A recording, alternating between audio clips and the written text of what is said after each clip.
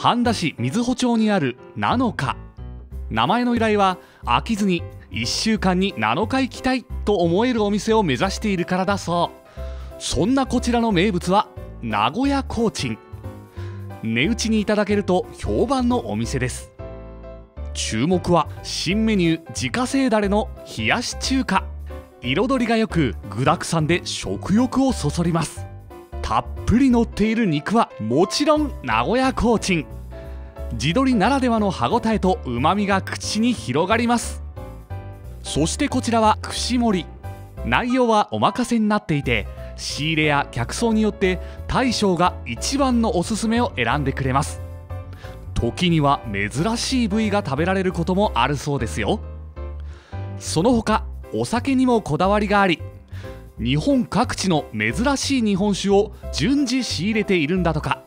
本当に何度行っても飽きないお店です。